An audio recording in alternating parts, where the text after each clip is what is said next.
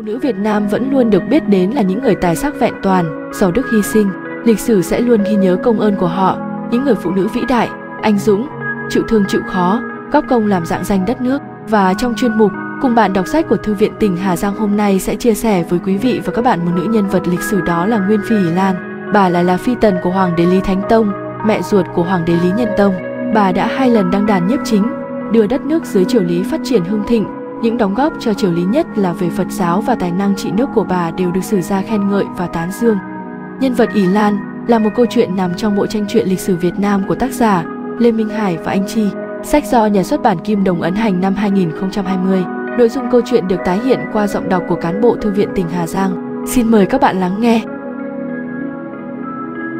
Phía bắc thành Thăng Long xưa có một ngôi làng lâu đời, gọi là làng Sủi nay thuộc xã Phú Thị, Gia Lâm, Hà Nội, là Phú, xung quanh có núi bao bọc, lại có sông ngòi thuận đường giao thương buôn bán.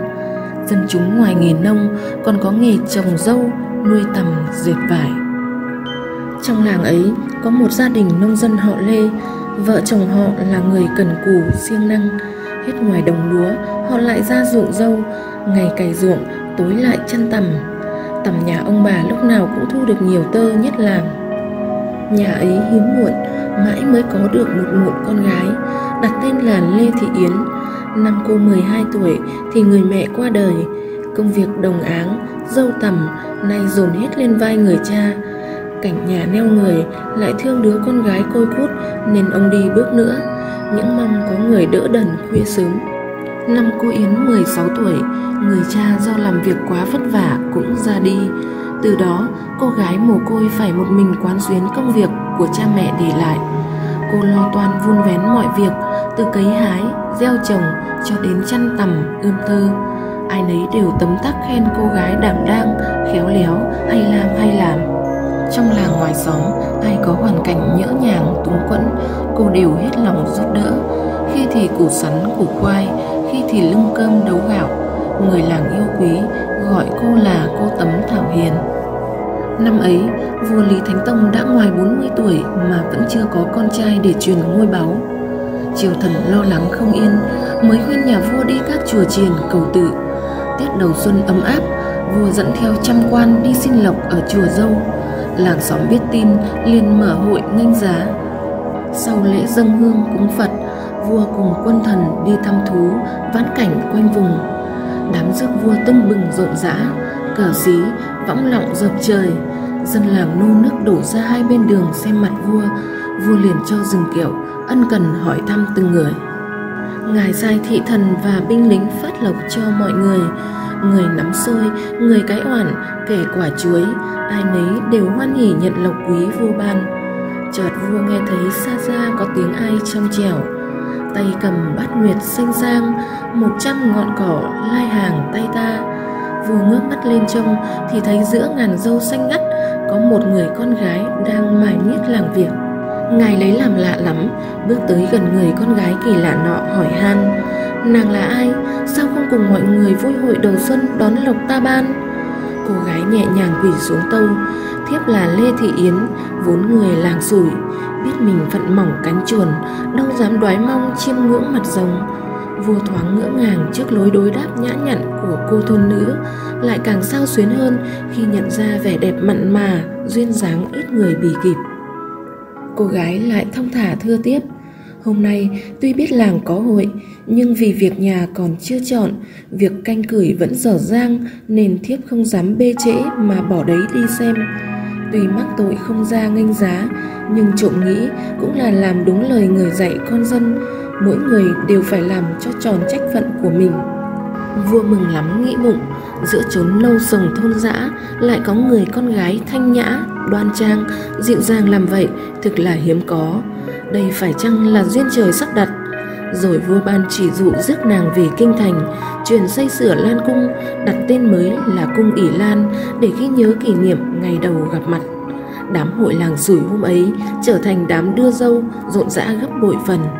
Bước vào cung điện ngọc, cô tấm ỷ Lan vẫn giữ nếp quê thanh bần, chịu thương chịu khó, khác với các phi tần trong cung. Cô không trọng việc tô son điểm phấn, sắm xanh lụa là, mong chiếm lấy tình cảm của bậc quân vương, mà ngày đêm lo cho học hỏi lễ nghi, công việc trong nội cung. Nhà vua thấy vậy càng yêu thương quấn quýt bên người tài nữ. ỷ Lan chăm chỉ học chữ nghĩa, miệt mài đọc kinh thư, nghiền ngẫm đạo thánh hiền. Từ trong cung cấm đến ngoài kinh thành, đâu đâu cũng nghe nhắc đến người cung phi tài sắc ấy, ai nấy đều lấy làm nể phục sự hiểu biết sâu rộng của ỷ Lan. Một lần khi được nhà vua ngự hỏi về đạo trị nước, ỷ Lan đã thẳng thắn tâu. Muôn tâu, cái cốt yếu trong đạo trị nước là bậc minh quân phải biết nghe lời can gián của trung thần, lời nói ngay thẳng, nghe trướng tai nhưng có lợi cho việc làm.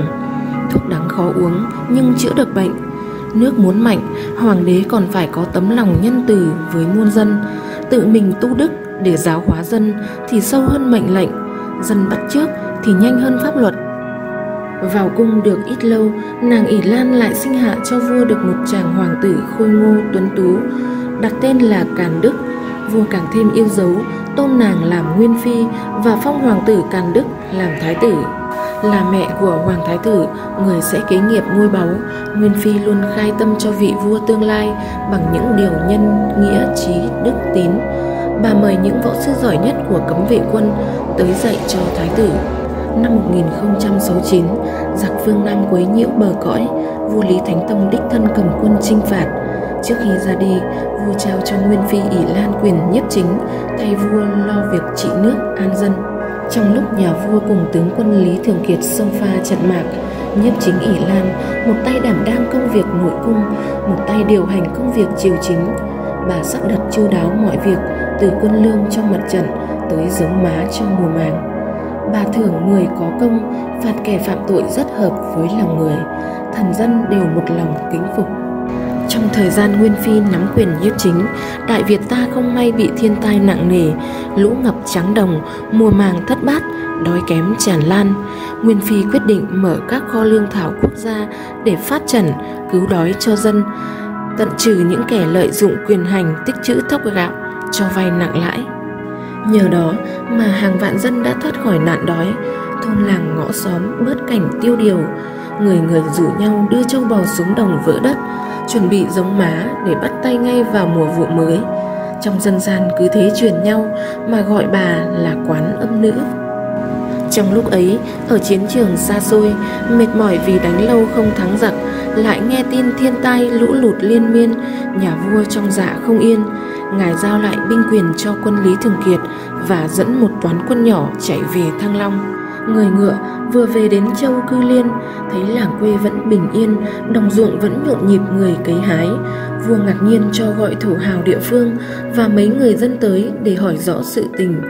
Ai nấy đều hết lời ca ngợi tài trị quốc, an dân của Nguyên Phi nhiếp chính.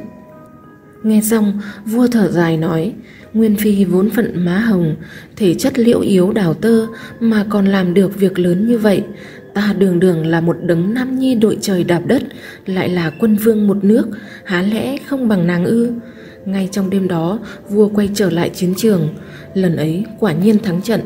Năm nhâm tý 1702, vua Lý Thánh Tông đột ngột băng hà. Triều đình đưa thái tử Càn Đức lên ngôi, tức Lý Nhân Tông.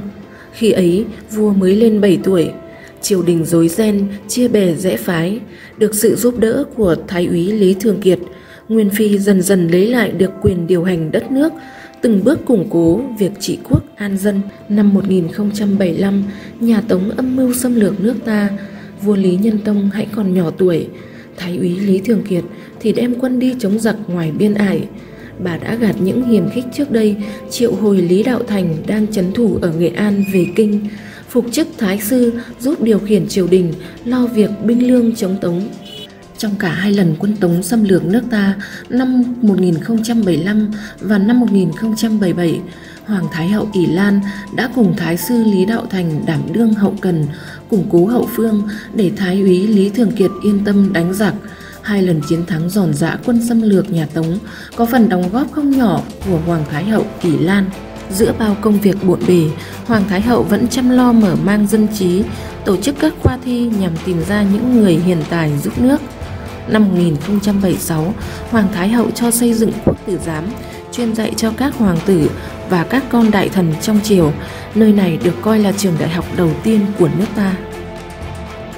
Lại nghe trong làng quê lúc này có nhiều nhà nghèo khổ phải đem con gái đi ở đợ cho nhà giàu. Thái hậu rất xót xa, bà đem tiền trong quốc khố chuộc những người con gái nghèo khổ ấy về, đem gả cho những người đàn ông quá vợ. Cung nữ trong cung cấm cũng được thả bớt cho về quê cũ làm ăn. Vốn là người sùng đạo Phật, bà đã góp công xây dựng hàng trăm ngôi chùa làm nơi tu dưỡng tâm linh cho muôn dân. Bà thường lui đến các chùa chiền, đàm đạo với các vị sư già học rộng. Có lần, khi đến chùa Phổ Minh nói chuyện với vị sư già thông biện, Thái hậu đã ứng khẩu một bài kệ. Sắc là không, không tức sắc, không là sắc, sắc tức không, sắc không đều chẳng quản, mới hợp được chân tông.